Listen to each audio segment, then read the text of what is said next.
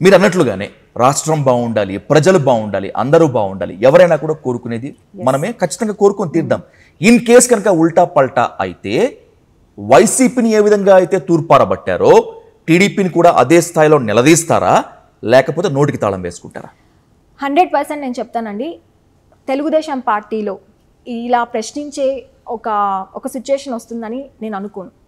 ఎందుకంటే గతంలో జరిగిన డెవలప్మెంట్ నాకు తెలుసు. గతంలో చంద్రబాబు నాయుడు గారి ఆధ్వర్యంలో పని ఎలా జరుగుతుందో మనందరికీ తెలుసు. నాకు పర్సనల్గా తెలుసు. నేను అదే అష్యూరెన్స్తో ప్రజలందరికీ చెప్తున్నాను. అలాంటి పరిస్థితి రాదు రాబోదు. యా సంక్షేమంకి పెద్దపీట వేశారు వైసీపీ అధినేత జగన్మోహన్ రెడ్డి. అప్పుడు ఇలా పప్పు బెల్లల్లాగా మీరు సంక్షేమం పనిచేస్తూ ఉంటే రాష్ట్రం శ్రీలంక అవుతుంది మరో వెనిజులా అవుతుంది అంతకన్నా దారుణం అవుతుందని చెప్పారు. ఒక్క రోజే ఐదు వేల కోట్లు అప్పు చేశారు చంద్రబాబు నాయుడు గారు. ఈ మూడు నెలల్లో జూన్ జూలై ఆగస్టు కోసం దాదాపు పదిహేడు వేల కోట్ల రూపాయలు అప్పు చేయాల్సినటువంటి పరిస్థితి.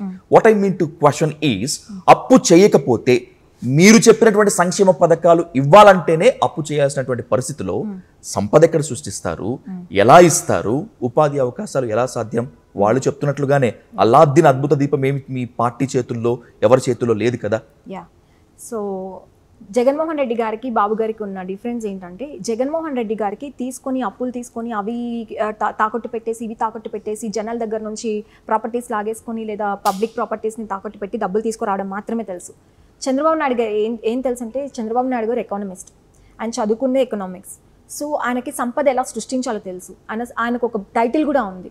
సంపద సృష్టికర్త చంద్రబాబు నాయుడు గారు అని. ఆ సృష్టికర్తలో భాగంగానే మన హైటెక్ సిటీ డెవలప్ చేయడం కానీ ఆయనకి ఎలా డబ్బులు తీసుకొని రావాలి ఎలా ఇన్వెస్ట్మెంట్ ఇంటి ఇన్వెస్టర్స్ని ఇన్వెంట్ చేయాలి రిసోర్సెస్ మన ఆంధ్రప్రదేశ్లో చాలా రిసోర్సెస్ ఉన్నాయి. వాటి నుంచి సంపద ఎలా సృష్టించాలనేది బాబు గారికి తెలుసు. దానిలో భాగంగా మీరు చూస్తే ట్వంటీ ఫార్టీ ఎయిట్ అని చెప్పి ఒక ఎకో సిస్టమ్ని డెవలప్ చేయాలని చెప్పి ఫోర్ పీస్ అని సార్ ఇంట్రడ్యూస్ చేయడం జరిగింది. Hmm.